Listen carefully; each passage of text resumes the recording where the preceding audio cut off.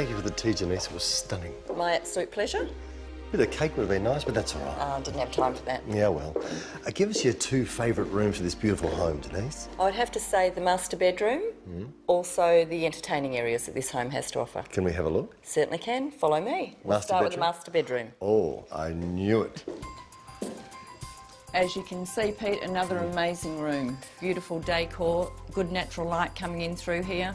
Oh, these are dressing rooms, are they? His and hers? His and hers wardrobes, perfect, great storage. Lovely. Oh, and a beautiful bathroom. Oh. Sweet, yeah? Stunning. Two basins, absolutely stunning ensuite with a powder room attached. We should look outside of the backyard area. And We certainly should because that's amazing. This is just great. It's so beautiful and spacious and beautiful ceilings. Beautiful water feature on the pool. There's even a gym behind the pool. I don't need a gym. I just enjoy running the lawns generally because look at the lawns. The lawn feels good on the feet. Yeah, jog it out if you want, Denise. Jog it out. No, it should be right. Oh. Denise. I can't keep so up with you. I know you can't. a lot of people can't.